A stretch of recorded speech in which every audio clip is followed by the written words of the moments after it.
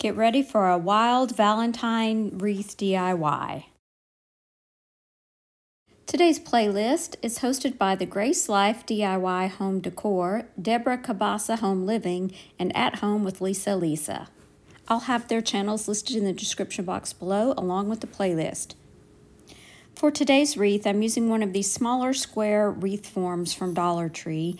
Some of this leopard print ribbon that I got at the thrift store. The black ribbon is from Walmart and the burlap ribbon is from Dollar Tree. I'm cutting 8 inch pieces to begin with. Once I have several pieces cut, I am going to dovetail each end.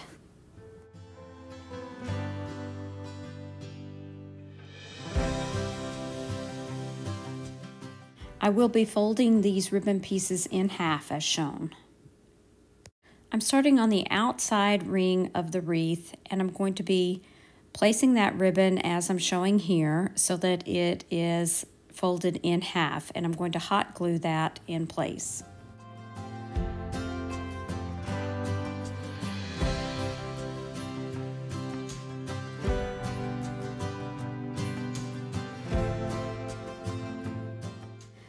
The second piece really should be overlapped a little bit onto the first piece and you cut a part in the back so that it will fit around that brace.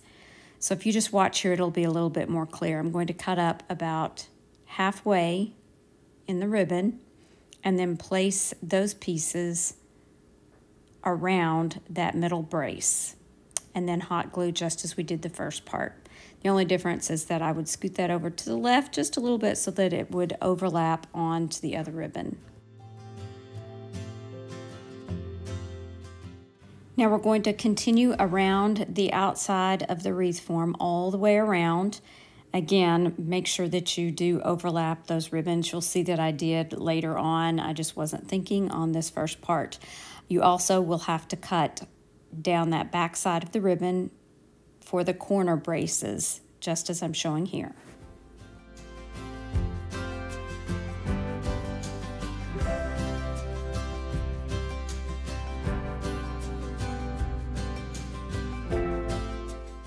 Now for the second ring of the wreath, I'm cutting six inches of this burlap ribbon and I'm going to fold it in half, but this ribbon I'm not going to dovetail.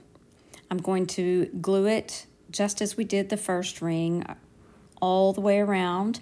You're going to have to be a little bit careful here with that hot glue um, because it will come through that burlap.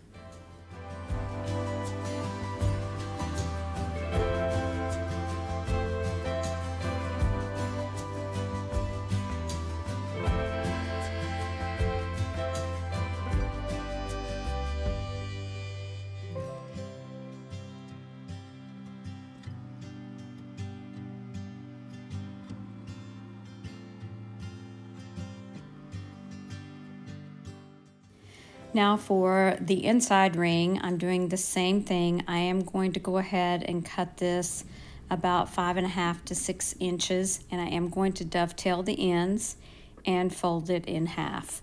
We're going to glue this around the center part of the wreath just as we did the first two rings.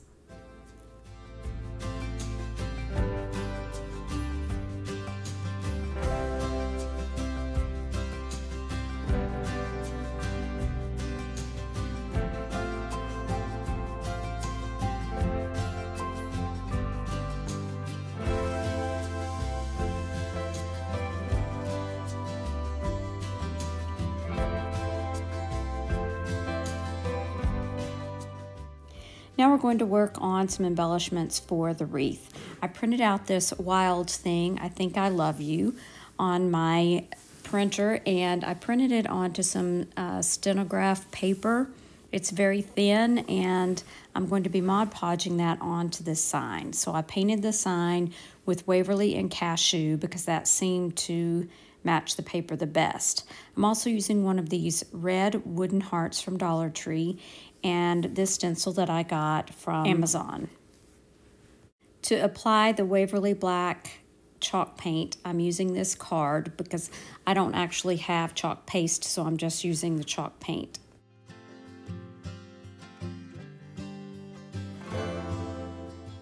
While I set that heart aside to dry, I'm going to move on to the next step. Now I'm going to move on to the Mod Podge iron-on method. So I'm going to coat my sign with Mod Podge and let it dry.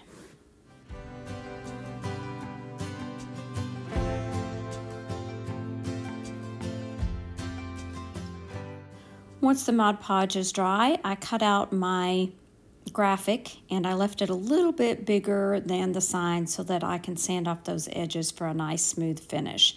Now I'm applying a piece of Teflon paper and I'm using my little mini iron to reactivate the Mod Podge so that the paper will stick to the sign.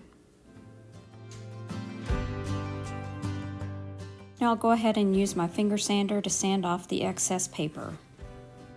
To make the sign stand out a little bit more, I used my black ink pad and just went around the edge of the sign.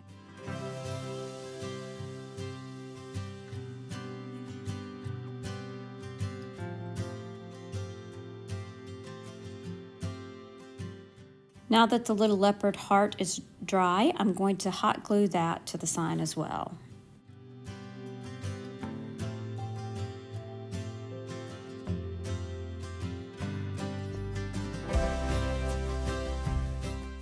Instead of adding a bow to this ribbon wreath, I didn't really want to use ribbon, so I used this grapevine bow that I got at a thrift store, and I'm using a pin, just a safety pin, to pin the sign onto the ribbon and onto the wreath. That way I can change it for the seasons if I want. I'm really happy that you joined me today. If you enjoyed this Valentine wreath DIY, be sure and smash that thumbs up button and leave a comment below. If you haven't subscribed yet, I invite you to do that before you leave. It's free and totally worth it. Thanks again to all of our hosts. They are listed in the description box below, so be sure to check them out along with the playlist to get lots of other wreath ideas. Thanks so much for watching. Please remember to share the chic. Bye now.